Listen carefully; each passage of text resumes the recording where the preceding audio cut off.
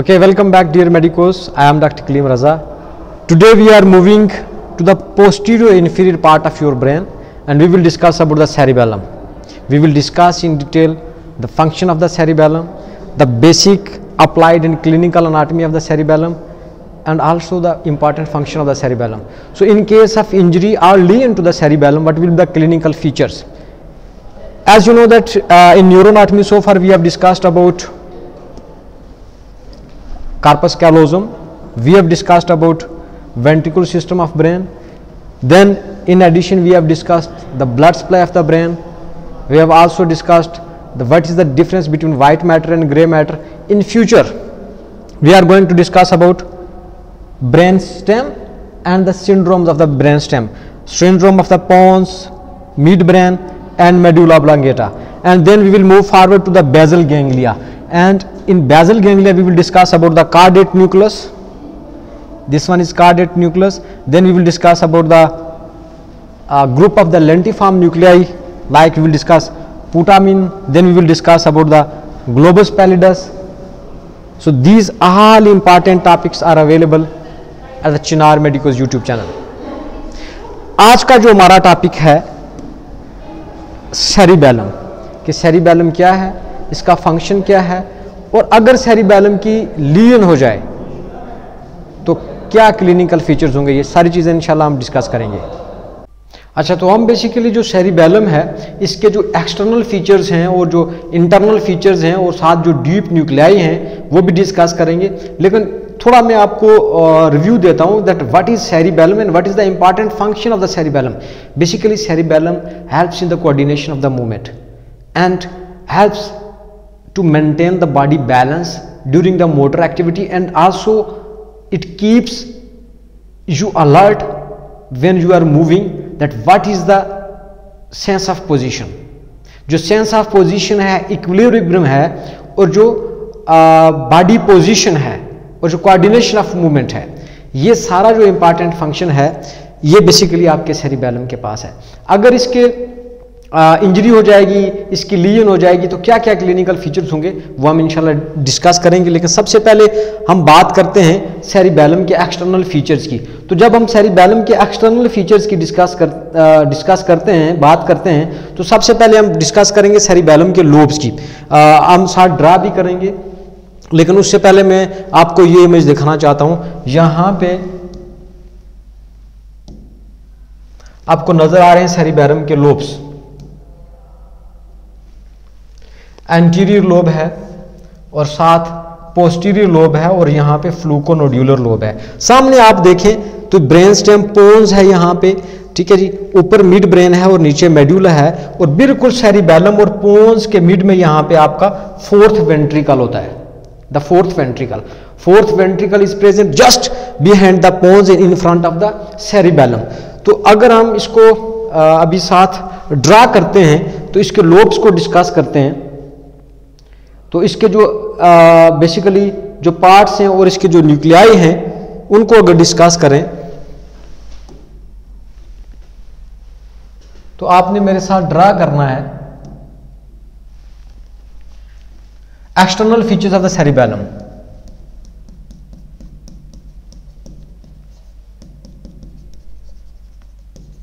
external features तो इसमें क्या क्या होता है? एक वर्मस है साथ नोड्यूल है।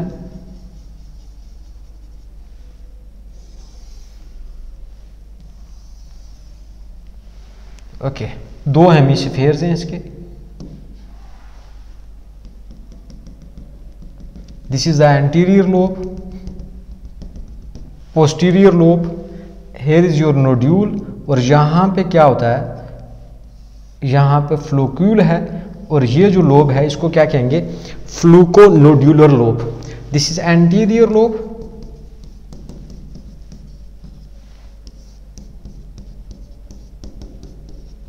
posterior lobe and this one is the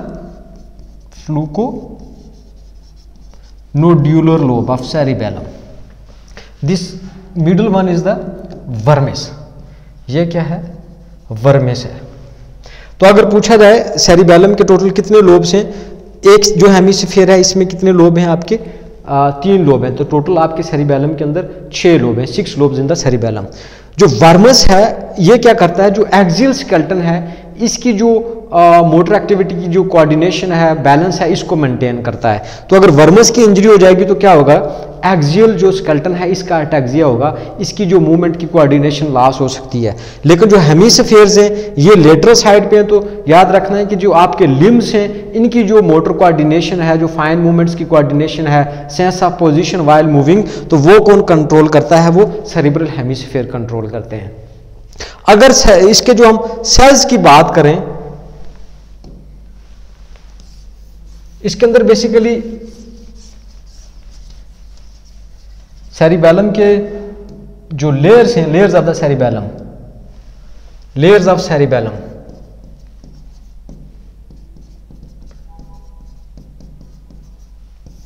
layers of cerebellum there are three layers of the cerebellum outer one is molecular layer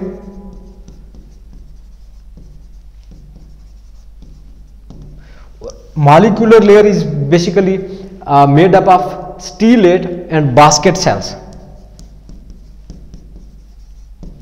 stellate and basket cells आपने हिस्टोलॉजी में पढ़ा होगा then middle one is the Purkinje layer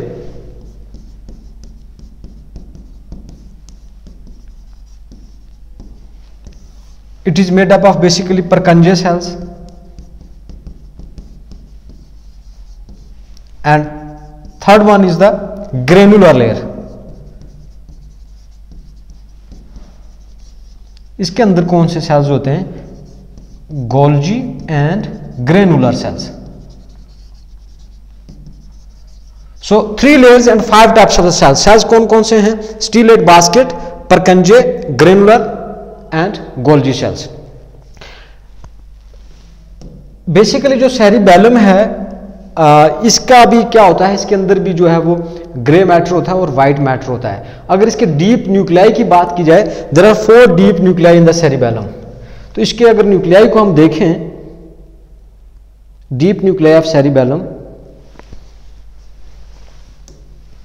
I hope कि ये image आपको नज़र आ रही है। Deep nuclei of cerebellum four nuclei here you can see the most lateral is a dentate. Dentate nucleus and then most medial, बिल्कुल जो vermis के साथ पड़ा होता है most middle that is the fastigial nucleus then globose and then emboliform तो आपने एक मिनिमोनिक पढ़ा होगा don't eat greasy food dentate emboliform globose and fastigial तो एग्ज़ाम में पूछा जा सकता है what is the most lateral most lateral is a dentate nucleus uh, and most middle is a fastigial nucleus. तो अगर यहाँ पे मैं एक और इमेज आपको दिखाता हूँ। अगर आप ब्रेन स्टेम को देखें विदाउट सेरिबेलम ये पोस्टीरियर साइड से अगर आप देखें पोस्टीरियर साइड से अगर आप देखें तो अगर आप सेरिबेलम को रिमूव करेंगे यहाँ पे आपको नज़र आ रहा है this one is basically midbrain तो ये बहुत इंपॉर्टेंट व्यू है। ये part of brain stem mid brain यहाँ पे क्या है पोन्स है और ये क्या है मेडुला है। तो यहाँ पे आपको फोर्थ वेंट्रिकल भी अंदर नज़र आ रहा है। तो मैंने अभी आपको बताया था कि फोर्थ वेंट्रिकल कहाँ पे होता है? Just in front of cerebellum और सामने क्या पड़ा होता है पोन्स तो ब्रेन स्टेम में क्या है? मिड ब्रेन है पोन्स और मेड्यूला और पीछे यहाँ पे क्या है? सेरिबेलम तो सेरिबेलम हमने अभी रिमूव कर दिया है। तो क्या क्या नज़र आ रहा है? यहाँ पे ऊपर पाइनिल बॉडी पाइनिल ग्लैंड और फिर उसके बाद क्या है? Superior colliculus which is a basically auditory and visual processing pathway and यहाँ पे क्या है? नीचे है inferior colliculus basically auditory pathway auditory processing pathway superior colliculus है इन्फीरियर कालिकुलस नीचे क्या है फोर्थ वेंट्रिकल पड़ा हुआ है। तो ये इमेज जो है, ये भी आपने अपनी टेक्स्ट बुक से देखनी है और इसको भी ड्रा करना है।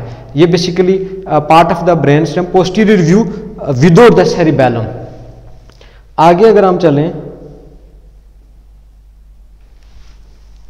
अभी हम बात करते हैं कि अगर इंजरी हो जाए सैरिबैलम की सैरिबैलर लियन तो क्या क्या क्लिनिकल फीचर्स हो सकते हैं? इंजरी टू द सैरिबैलम तो याद रखना है, ये निमोनिक याद रखें वेनेस्ट तो नंबर वन क्या होगा? वर्टाइगो होगा. फिर उसके बाद क्या हो सकता है? अटैक्जिया मुख्तलिफ़ काजेज हो सकती हैं सैरिबैलम की इंजरी की. Chronic alcohol abuse is another cause of cerebellum lesion और जो ब्लड सप्लाई है अगर इसकी उसमें भी कोई इंटरप्शन होगी तो लियन हो सकती है injury to the brain stem और साथ याद रखना है कि ख़ास तौर पे जो सेरिबेलम जो साइंस होते हैं, उसमें बहुत सारे लोग कंफ्यूज हो जाते हैं, कहते हैं जो रूम बर्ग साइन है वो भी basically injury to the cerebellum इसलिए वो पॉजिटिव आता है, लेकिन वो रू रूम बर्ग जो साइन है, वो बेसिकली डार्सल कॉलम की इंजरी की वजह से होता है। टेबिस डार्सालस में हो सकता है, या फिर मल्टीपल जो स्क्लेरोसिस उसमें हो सकता है। इसके जो साइंस होंगे, इसमें मोस्टली क्या होता है? अटैक्जिया होगा। अटैक्जिया क्या है कि loss of the coordination of the movement और अगर राइट साइड का जो लियन है राइट साइड की सेरिबेलम की लियन है तो राइट साइड का क्या होगा? अटैक्जिया होगा। राइट साइड की बॉडी जो पेशेंट अगर सेरिबेलम की लियन के साथ आपके पास आता है तो वो मोस्टली किस तरह के गेट के साथ आता है? ब्रॉड गेट होता है पेशेंट का।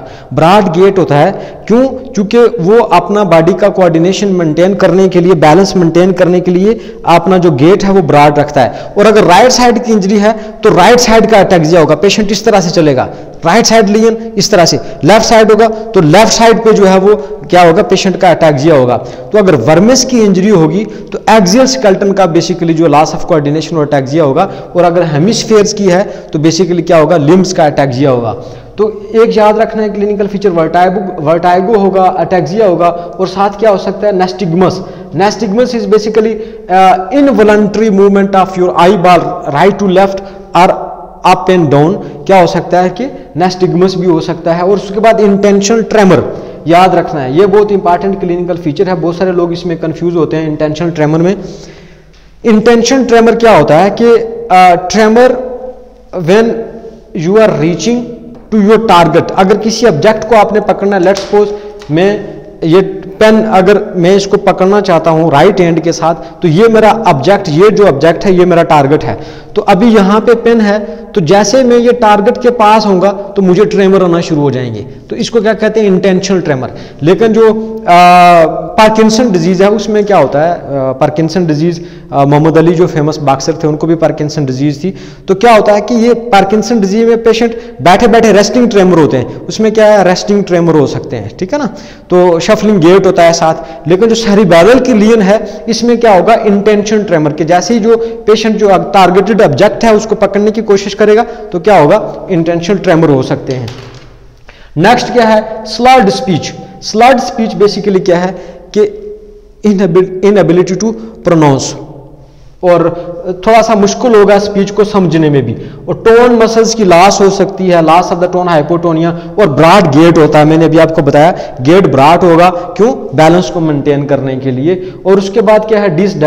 Dysdiadochokinesia also another very important clinical feature during the injury of the cerebellum इसमें क्या होगा कि inability to perform alternative muscular movements कि अगर आप ये अल्टरनेटिव जो मूवमेंट्स हैं सुपीनेशन प्रोनेशन सुपीनेशन प्रोनेशन अगर इंजरी होगी सैरिबैलम की तो पेशेंट ये परफॉर्म नहीं कर सकता। इसको क्या कहते हैं? डिसडाया डोकोकाइनेजिया आई होप कि आपको ये जो वीडियो लेक्चर था सेरिबेलम इसमें आपको जो मैं फ़ंक्शन समझाने की कोशिश कर रहा था वो आप समझ चुके हैं। इन जो नेक्स्ट लेक्चर है, उसमें हम बात करेंगे बेजल गैंगलिया की। और ख़ास तौर पे जो बेजल गैंगलिया के पार्ट्स हैं, जिस तरह से कार्डेट न्यूक्लियस है, उसके बाद लेंटीफार्म न्यूक्लियस हैं। तो ये सारे इन जो इंपॉर्टेंट जो क्लिनिकल न्यूरोनाटमी की जो लेक्चर्स हैं, आने वाले चंद ही दिनों में मैं यूट्यूब चैनल पर अपलोड करूँगा। टिल देन टेक केयर अल्लाह हाफिज़